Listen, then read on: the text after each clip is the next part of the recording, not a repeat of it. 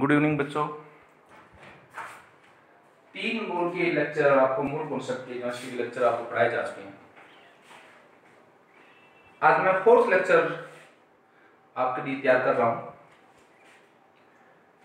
मुझे होप है कि जो लेक्चर मैंने पहले तीन आपने पढ़ाए, मैंने पढ़ाई वो आपने पढ़ लिए होंगे। उनके नोट्स भी बना लिए होंगे। हो सकता है कुछ बच्चे नहीं भी बना पाए बच्चों, मैं सभी से कह रहा हूँ कि ये समय बहुत कीमती है। साइंस के स्टूडेंट के लिए समय दोबारा ज़िंदगी में नहीं आता और हम लोग जो प्रयास यहाँ से कर रहे हैं, उस प्रयास का मतलब भी केवल यही है कि आप लोग अपने घरों में रहकर सेफ़ रहकर, अपनी पढ़ाई को सुचारू रूप से जारी रख। पाए मोल कॉन्सेप्ट बहुत बेसिक टर्म है। नीम है एक तरह से केमिस्ट्री की।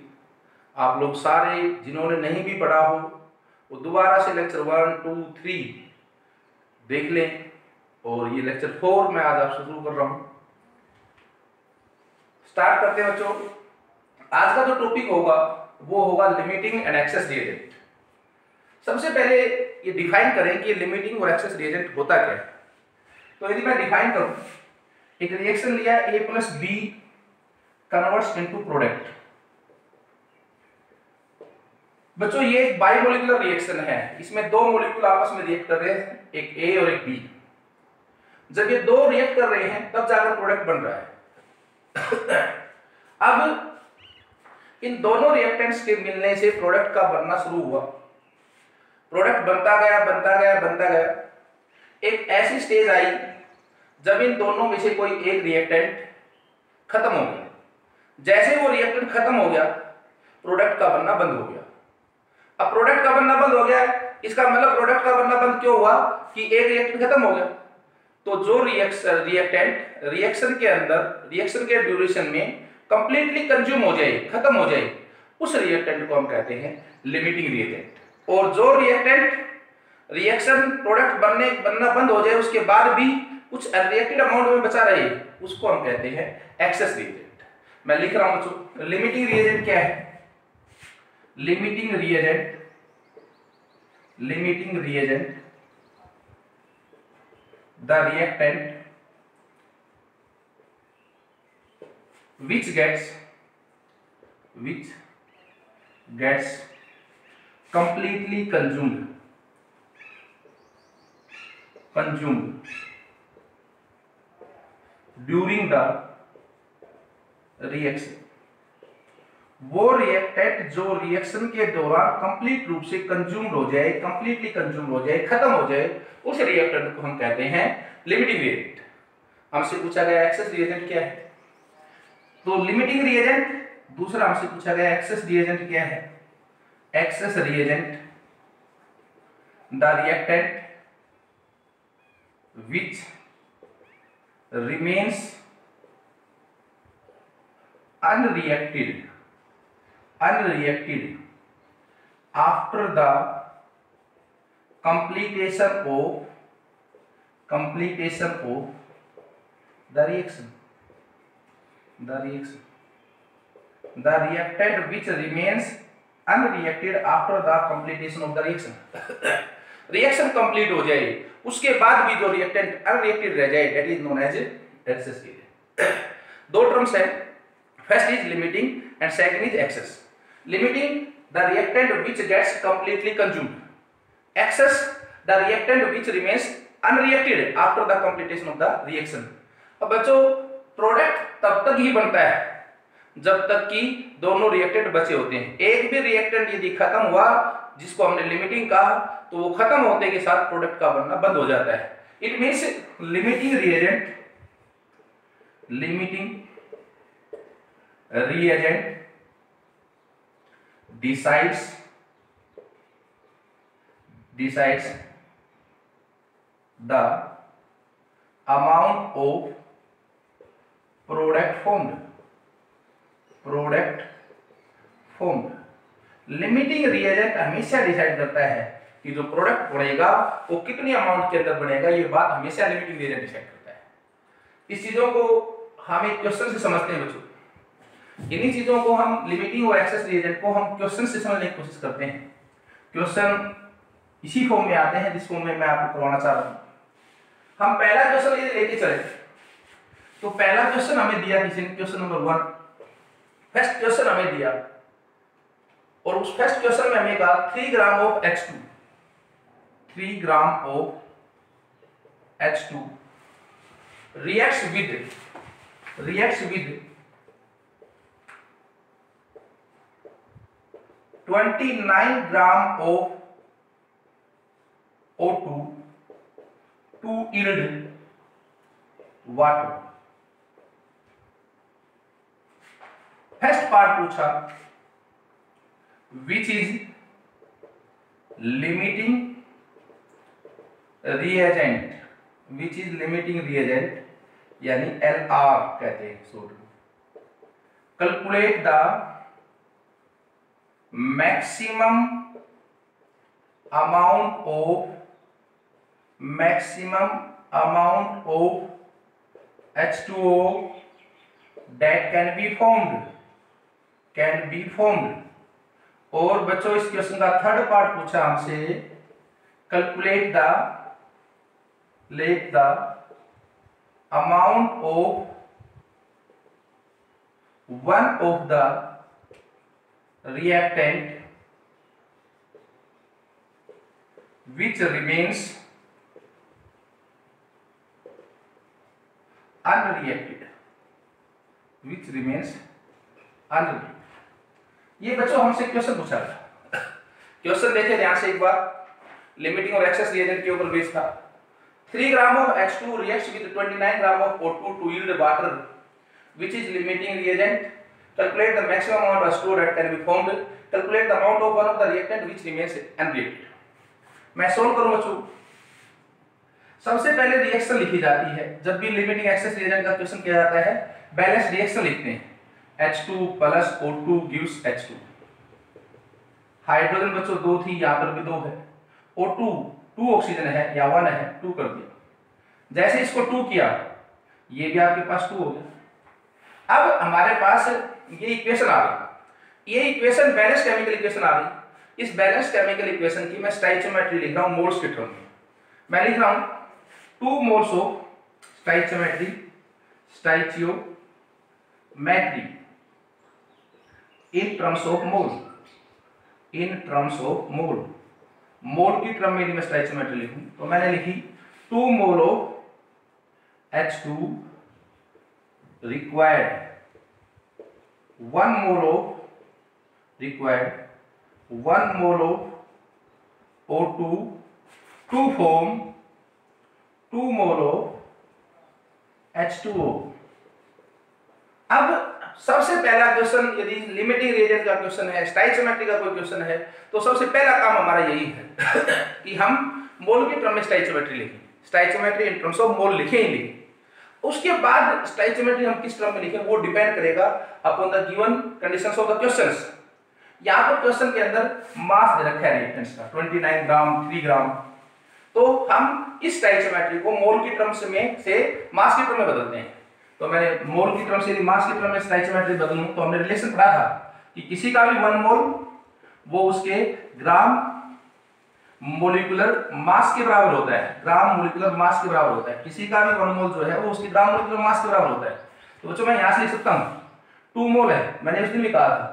जितना आगे कोएफिशिएंट है, उसको रख दो। टू इंटू वन मोल का मास हाइड्रोजन का एच टू है तो two two into two gram of H two required one mole है। O2 के वन मोल का मास 32 ग्राम of O2 O O2 to to form two into water के one mole का mass 18 gram of H2 solve ना करें इन चीज़ों को उस दिन भी बताया था मैंने आपको। ये आराम से आपस में कैंसिल आउट हो जाए अब बच्चों हमें पहला पार्ट कर रहा है limiting reagent which is the limiting reagent limiting reagent निकालना है। यदि लिमिटिंग रिएजेंट निकालना है तो हमने ये पता है कि लिमिटिंग रिएजेंट रिएक्टेंट्स के अंदर से ही होता है।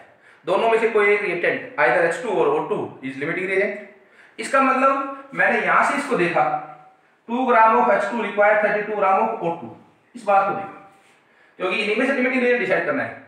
तो मैंने यहाँ लिखा हूँ। मैं यहाँ लिख रहा हूँ इसको।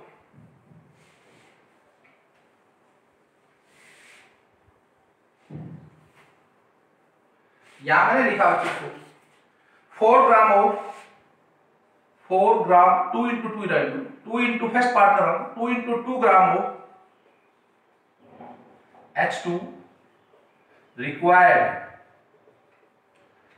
two gram of O two thirty two gram of O two one gram required thirty two upon two into two gram of O two और बच्चों क्वेश्चन में कितने ग्राम है O2 three gram sorry H2 कितने gram है? Three gram three ग्राम H2 था।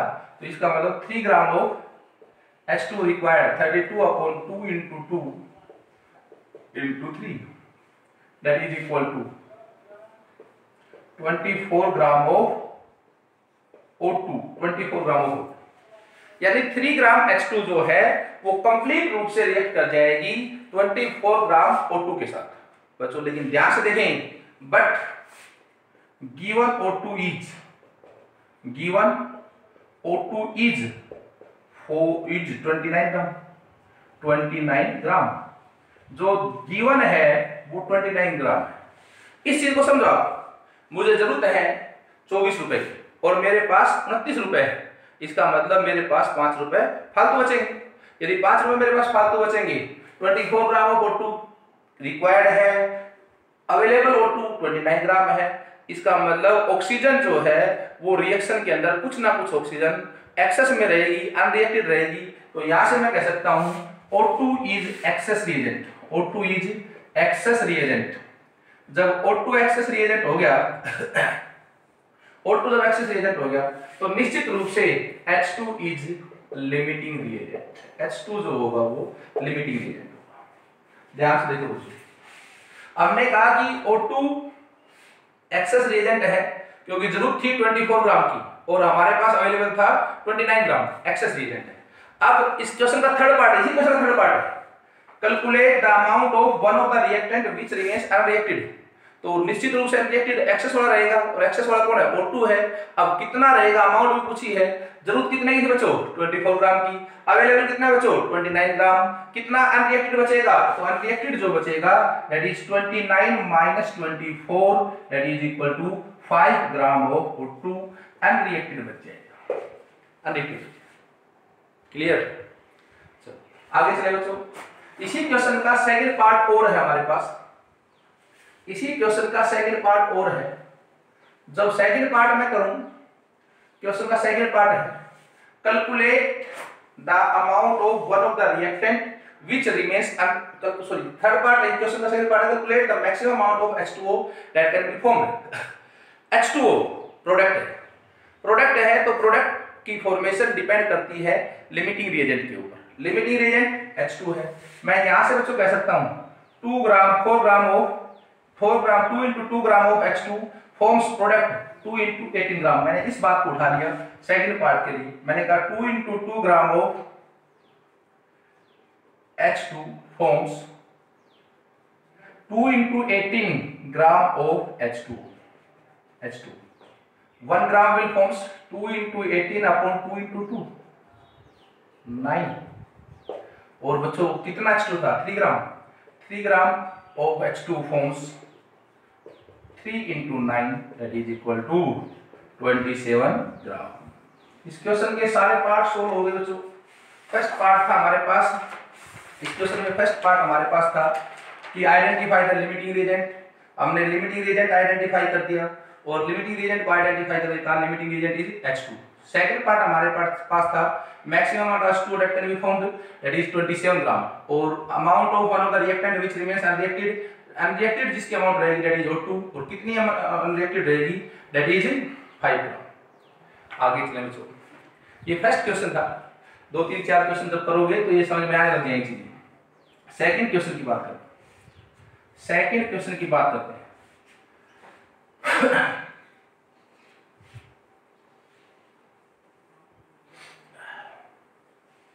Second question बच्चों, हम देखिए सेकंड क्वेश्चन हमारे पास सेकंड क्वेश्चन आता है. अच्छा क्वेश्चन है, बहुत अच्छा क्वेश्चन है. In a reaction in a reaction A plus B2 gives AB2 identify identify the limiting reagent if any in the following reaction mixtures reaction mixtures following reaction mixtures first part था बच्चों 300 atoms of A atoms of A plus 200 molecules of molecules of B2 second part बच्चों 2 mole of A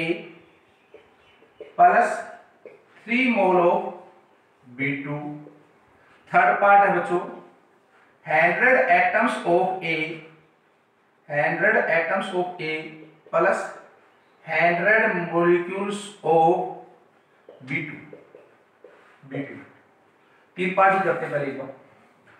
question है बच्चों in A reaction A plus B two gives A B two identify the limiting reagent if any in the following reaction mixtures पहला case क्या दिया है? 300 atoms of A 200 molecules of B2 यदि आप question को देखें थोड़ा सा तो आप ये कह पाओगे, सर, इसके अंदर A एटम है एटॉमिक स्टेट के अंदर है सिंगल एटम है, और B2 मॉलिक्यूल के अंदर है.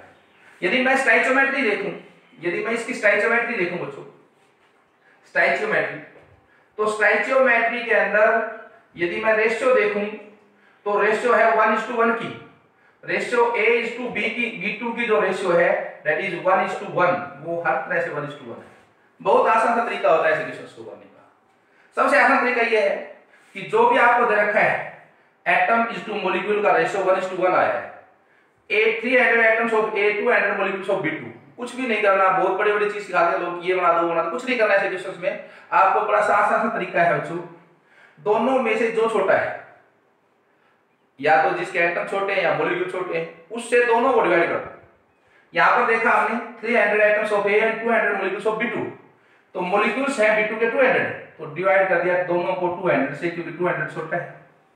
200 से डिवाइड कर दिया 1 इज़ टू ये आपके पास 1.5 हमारे पास रेशियो आनी चाहिए थी 1 1 की।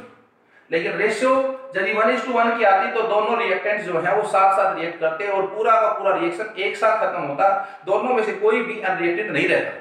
लेकिन यहाँ पर रेशियो आई 1.5 इज़ टू वन की। ये तो अपनी जगह सही वन लेकिन ये 1.5 क्या है? फालतू है। इसका मतलब ये फालतू है तो ये कम होगा। तो लिमिटिंग रिएजेंट कौन हो गया यहाँ पर? L R that is B two excess पूछ ले कि एक्सेस रिएजेंट कौन हो गया? एक्सेस रिएजेंट तो that is A second part two mole of A plus three mole of B two वही काम है। जिसके छोटा रेशियो है, जिसका छोटे नंबर है, उससे दोनों को डिवाइड कर दो। ये टू है, ये थ्री है टू से डिवाइड कर दो, दोनों को टू टू टू टू ये क्या आ गया बच्चों आपके पास? One is to one point five इस बार ये तो वन है अपनी जगह वन ही होना चाहिए था वन ही। लेकिन ये क्या आ गया? वन पॉइंट फाइव वन होना चाहिए था, लेकिन वन पॉइंट फाइव ज़्यादा आ गया। इसका मतलब ये क्या हो गया? एक्सेस रिएजेंट इस केस में क्या हो गया? B2 और इस केस में लिमिटिंग रिएजेंट LR क्या हो गया? A तीसरा case 100 atoms of A plus 100 molecules of B छोटा है कोई दोनों बराबर है। किसी को डिवाइड 100 से डिवाइड कर दो दोनों को। 100 100 ये 1 ये 1 1 is to 1 की रेशियो आ गई। और 1 is to 1 की रेशियो ही हमें चाहिए थी। दोनों रिएक्टेंट A और B2 साथ साथ रिएक्ट करेंगे। दोनों एक साथ खत्म हो जाएँगे। यानी कि हम यहाँ से कह सकते हैं कि इस केस में कोई भी लिमिटिंग रिएजेंट नहीं बनेगा। No limiting reagent no one is limiting reagent समझ में आ गया चलो आगे देखें। थर्ड क्वेश्चन थर्ड क्वेश्चन देखें। Question number third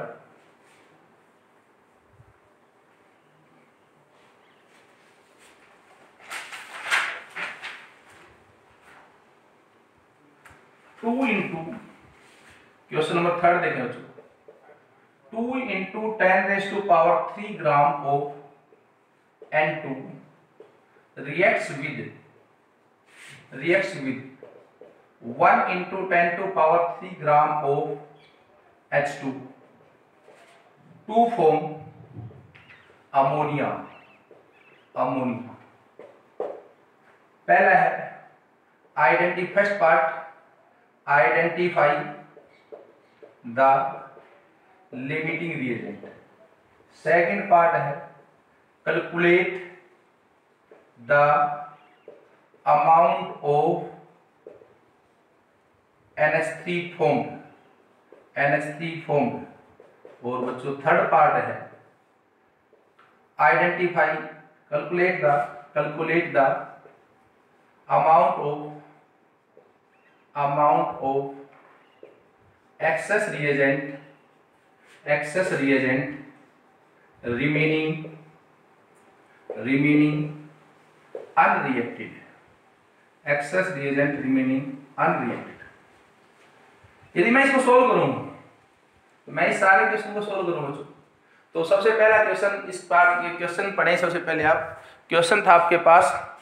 इस केस में क्वेश्चन है two into ten two power three gram of N two react with one into ten two power three gram of H two to form to form N S three identify the limiting reagent calculate the amount of calculate the amount of N S three formed और third part है calculate the amount of excess reagent remaining unreacted जब भी ऐसा question आता है, सबसे आसान तरीका है कि आप सबसे पहले बैलेंस रिएक्शन लिखिए किस किस के बीच में N2 plus H two gives NH3 nitrogen दो बच्चों या वन है टू से मल्टीप्लाई कर दिया हाइड्रोजन सिक्स हो गई थ्री से मल्टीप्लाई कर ये आपके पास बैलेंस इक्वेशन आ अब यदि ये बैलेंस इक्वेशन है तो मैं इस इक्वेशन के अंदर बच्चों बैलेंस इक्वेशन यदि है तो मैं यहाँ से मोल की टर्म में सबसे पहले स्टाइचोमेट्री लिखनी ही लिखनी है।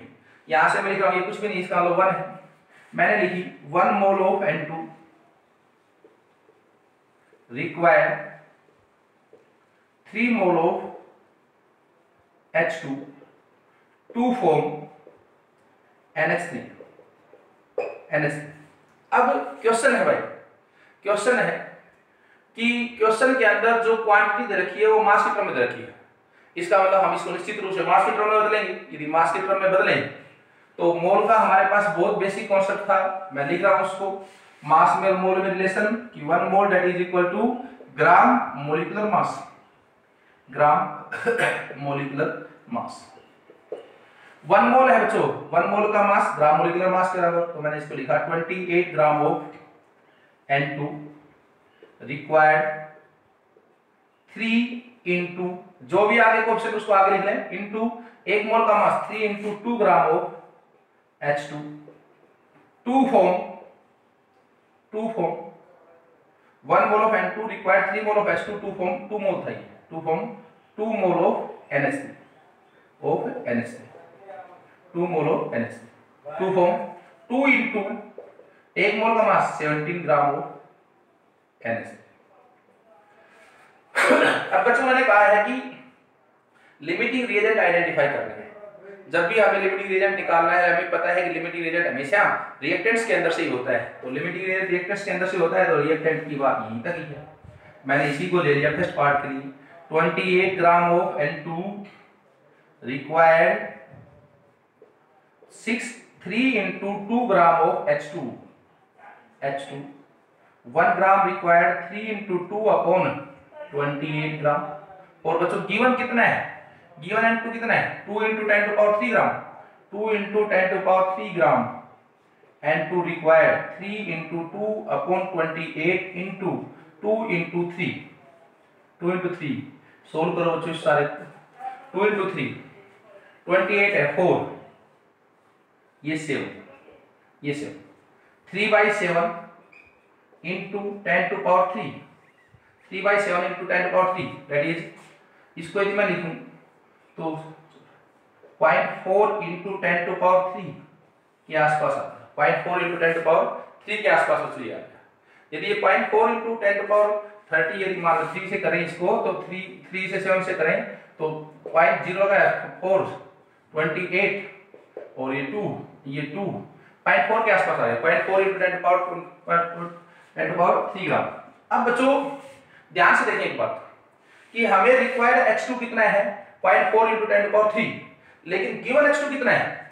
बट गिवन H2 इज़ ये आपके पास आ गया, यहाँ से आप लिख सकते हो but given H2 given H2 is one into ten two power three हमें ज़रूरत थी, मैं यहाँ से कहता point four into ten two power three gram H की ज़रूरत थी, लेकिन गिवन कितना है? One into ten two power three it means ज़रूरत थी कम की, चालीस पैसे की ज़रूरत थी। और हमारे पास अवेलेबल कितना है? एक रुपया है। इसका मतलब फालतू बचेगा। यदि फालतू बचेगा तो फालतू बचेगा तो ये क्या हो गया आपके पास? एच टू एक्सेस रिएजेंट हो गया। एक्सेस रिएजेंट हो गया। एच टू एक्सेस हो गया तो निश्चित रूप से लिमिटिंग रिएजेंट कौन हुआ बच्चों? दूसरे वाला। दूसरे वाला कौन है? N2 N2 हो गया आपके पास limiting reagent N2 limiting reagent हो गया। अब थर्ड पार्ट है। Calculate the amount of excess reagent remaining unreacted unreacted जो रहा, उसकी अमाउंट बता दो। तो अनरिएक्टेड की अमाउंट बता दो। गिवन कितना था बच्चों? सेकंड पार्ट में करता हूँ। सेकंड पार्ट के अंदर सेकंड पार्ट जो किया आपने सेकंड पार्ट के अंदर बच्चों, आपके पास क्या है सेकंड पार्ट में थर्ड पार्ट में सुनिए थर्ड पार्ट के अंदर फ़र्स्ट पार्ट हो गया। फ़र्स्ट पार्ट में limiting reagent is N2 excess reagent is H2 third part excess reagent remaining unreacted remaining unreacted unreacted कितना रहेगा भाई? गिवन कितना था? 1 into 10 to power 3 यानी कि 1000 रिक्वायर्ड कितना था भाई? रिक्वायर्ड रिक्वायर्ड था 0.4 into 10 to power 3 यानी कि आपके पास 400 400 बचेगा कितना भाई? बचेगा कितना? अनरिएक्टेड कितना रह गया भाई? अनरिएक्टेड अनरिएक्टेड रह गया आपके पास 600 ग्राम. 600 ग्राम। अनरिएक्टेड रह गया। आपके पास बच्चों, अगला क्वेश्चन आता है सेकंड पार्ट रहेगा इसका। Calculate the amount of NH3 formed NH3 की अमाउंट निकालनी है जो बच गई। NH3 की यदि अमाउंट निकालें, जो बच गई तो उसके लिए देखो क्या करें।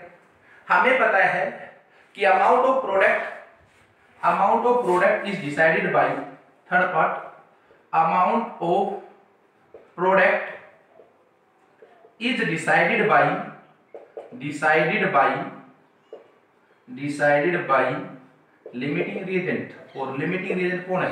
N2 तो बच्चों, मैं यहाँ से N2 लिमिटिंग रिएजेंट है 28 ग्राम और ये आपके पास कितना दे रहा है? Two into seventeen gram N तो मैं लिख सकता हूँ यहाँ से twenty eight gram of N two forms forms two into seventeen gram of N S three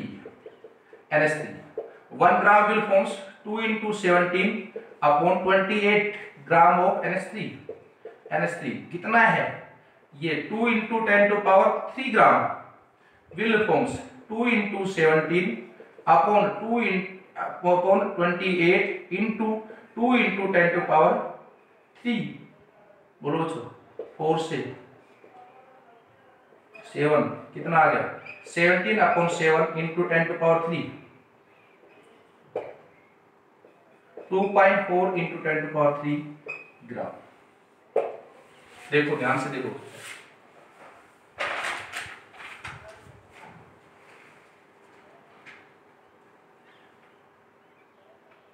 clear है सभी को? एक क्वेश्चन बच्चों, मैं आपको होमवर्क के लिए दे रहा हूँ। आपको करना है।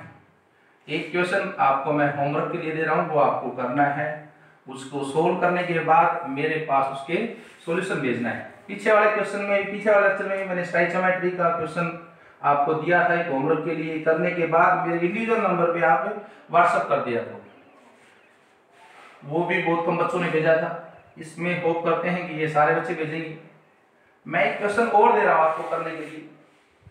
और वो क्वेश्चन है बच्चों लिमिटिंग रिज़ल्ट का ही। क्वेश्चन है 25 gram of SO2 and six gram of O two react according to the reaction according to the reaction two S O two plus O two gives two S O SO करना क्या है आपको? आपको first part है identify करना है। Limiting reagent दूसरा part है calculate the amount of SO3 formed. SO3 formed. और तीसरा पार्ट है calculate the amount of excess reagent remaining unreacted ये क्वेश्चन जो भी बच्चा लेक्चर देखे, जिसको भी समझ में आ जाए, वो करने के बाद इसको मेरे पास सॉल्यूशन मेरे पर्सनल नंबर पे व्हाट्सएप अपना नाम लिखकर क्लास लिखकर मेरे पास भेजना है।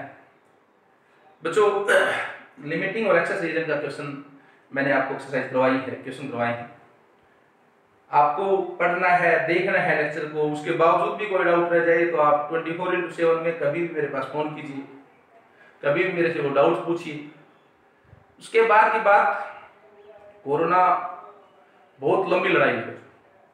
और स्कूली सिस्टम के लिए तो अभी और भी लंबा लग रहा है काम। तो आप लोगों को बहुत दिनों तक हो सकता है इसी मोड से पढ़ाई करनी पड़े। तो सभी से रिक्वेस्ट कर रहा हूँ। सभी से अपील कर रहा हूँ। आप में से बहुत से स्टूडेंट्स जो हैं, वो जानते भी होंगे मुझे और आपको टेंथ एन वगैरह भी पढ़ाने का मौका मिला है। और भी आपके बड़े भाई बहन होंगे जो प्लस टू में पढ़ते होंगे फाउंडेशन बैचों में उनसे भी पूछे। शुरू से हमारा एक ही एम रहा है और वो एम यही है कि मेहनत के बिना कुछ भी अर्जित नहीं किया जा सकता। सभी बच्चे मेहनत करते रहे, सभी लगे रहे। दूसरी बात यदि ये लेक्चर आपको समझ में आते हैं तो सभी बच्चों के पास, जितने भी स्टूडेंट्स जो भी आपके गाँव में, मोहल्ले में, जो भी आपके शहर में रहते हैं, जिनसे भी आप जानते हो, सभी के पास भेजें। शिक्षा बच्चों, ऐसी चीज़ है। चाहे वो स्कूल का हो आरबीएस का हो, चाहे किसी और स्कूल का हो, चाहे वो सरकारी स्कूल का हो, सभी के पास भेजें, क्योंकि शिक्षा एक ऐसी चीज़ है, जिसको जितना फैलाओगे जितना फैलाओगे, वो उतनी ही बढ़ती चली जाती है। उसको जितना हो उसके उतना फैलाना चाहिए। शिक्षा को जितना हो उसके उतना फैलाना चाहिए। ना जाने आपकी की हुई मदद से कौन बच्चा पढ़ जाए और वो इस देश के लिए कैसे पढ़ जाए। तब अगले लेक्चर में फिर मिलेंगे। तब तक के लिए बाय बाय